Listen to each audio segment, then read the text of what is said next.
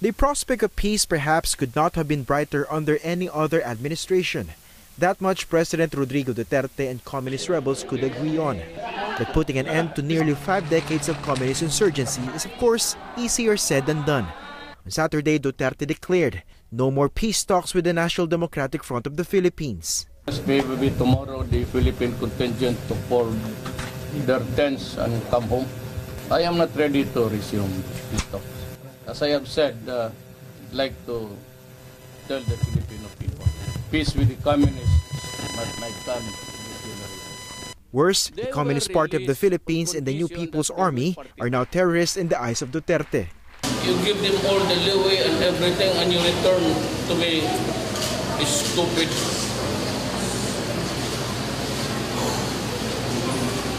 From now on, I will consider the CPP, NP, NDF a terrorist group. So what happens now to the peace process? The rebels insist they still want to talk peace with the government, even if Duterte has branded them as terrorists. Besides, they know by now the president is prone to public outbursts and on some occasions change his mind on certain issues. I-interpret ko lang as an offhand statement na dapat he should have said it.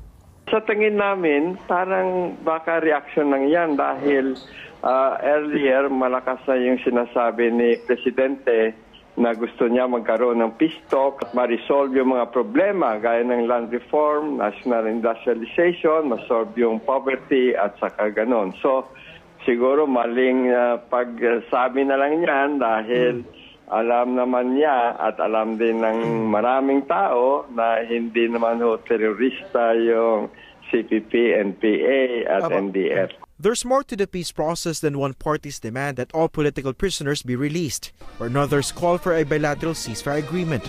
Duterte was also angered when the rebels lifted their own ceasefire declaration and gunned down soldiers before it could even take effect. Kung yan lang ang panananganan ng presidente, napakakitid ng uh, ano niya, pagpapahalaga niya o, o yung tuntungan ng kanyang idea ng isang uh, negotiated peace settlement. Hindi ordinary civilian yan na pinatay. No? Hindi pareho ng mga pinapatay na civilians. Sundalo yan.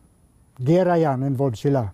Dapat titiklan sa context na yon. These context also includes addressing the root causes of the armed struggle, issues such as land reform and free land distribution. But while peace talks in the past moved forward even if fighting did not exactly cease, some NDFP consultants participating in the talks are now facing arrest, at least based on the president's pronouncements. In a statement, Chief NDFP negotiator Fidel Kawili said, the consultants in question have all returned from the third round of talks in Rome last month. He said they're also protected under the joint agreement on safety and immunity guarantees. The rebels are now waiting for a formal notice from the government that it is indeed suspending the peace talks. Sinabi na niya, sarado na talaga wala. Oh, well, nasa ano na yan, responsibilidad na niya kung putulin na talaga yung peace talks. At gera, sabi niya, 50 years na gera pa. Sino may gustong gera? Di siya. Christian Isguera, ABS-CBN News.